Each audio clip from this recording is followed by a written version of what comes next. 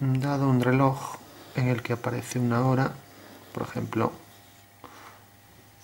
las 3 y 25, vamos a poner las 3, la aguja, aquí están las 3, y aquí por ejemplo están las 30, y señala 3 y 25. Se pide calcular la hora sabiendo que estamos viendo el reloj reflejado en un espejo. Bueno, como en el espejo salen formas simétricas, basta con hacer la simétrica de la figura.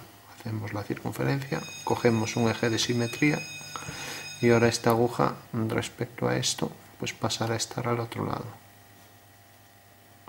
Mientras que esta pasará a estar aquí.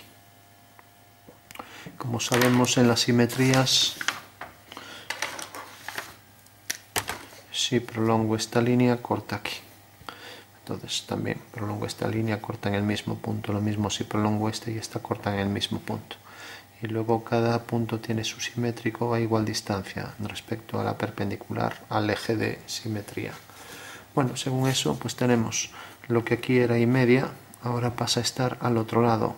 Perdón, aquí eran las 3 y 25. Y ahora tenemos que aquí eran y 25, la simétrica es y 35. Aquí teníamos por encima de las 3, aquí tenemos por debajo de las 9. Entonces tenemos las 8, 35 horas, o mejor las 20, 35.